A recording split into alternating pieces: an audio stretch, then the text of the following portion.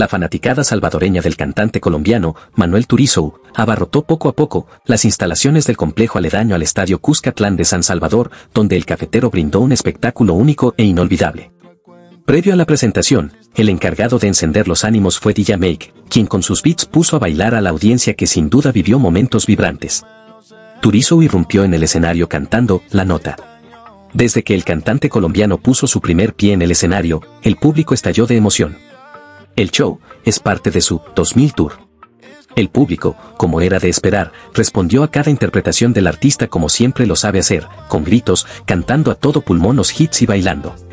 Por supuesto, las luces emitidas de los celulares de los asistentes brindaron un ambiente agradable en el recinto. En medio de la oscuridad, esos destellos artificiales se movían de un lado a otro a ritmo de las canciones. Las bailarinas cautivaron con su belleza y sensualidad. Cántalas, bailalas y si no te las sabes solamente gózalas.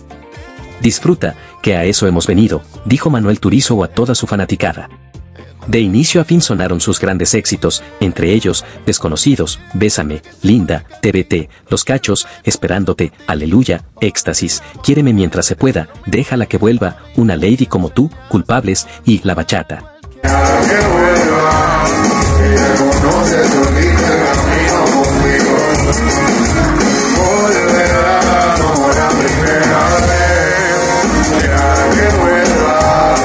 La emoción de los asistentes fue evidente en cada tema, sin embargo, fue más notoria a medio concierto, cuando Manuel Turizo interpretó Una vaina loca. En ese momento, el público no pudo ocultar su euforia. Cabe destacar que Manuel Turizo no fue el único que se presentó en el concierto, también lo hizo su hermano Julián Turizo.